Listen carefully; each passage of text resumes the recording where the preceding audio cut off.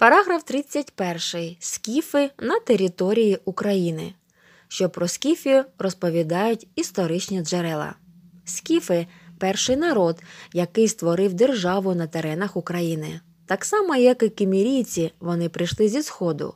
Скіфи перемогли кімірійців та утворили велику державу, що проіснувала до третього тисячоліття до нашої ери. Основу духовної культури кочових скіфів становили традиції середньоазійських іраномовних племен саків, масагетів. Звіриний стиль у мистецтві, численні міфи, первісні релігійні уявлення. Певний вплив на формування духовної культури скіфів мали малоазійські народи та грецька культура, яка активно формувала естетичні смаки скіфської знаті. Чим уславилися скіфські воїни?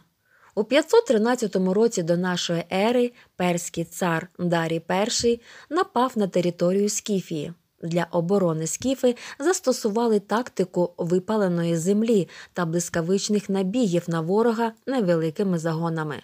Щоб запобігти значним людським втратам, перське військо спішно відступило, хоча і не зазнало жодної нищівної поразки.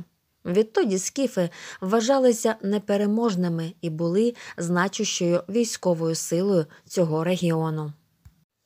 У третьому столітті до нашої ери під тиском наступаючих зі сходу племен сарматів скіфи покинули свою територію, лишаючи собі лише південь гирла річки Дніпро та Степовий Крим. На цих землях з'явилася мала скіфія, яка проіснувала до третього століття нашої ери.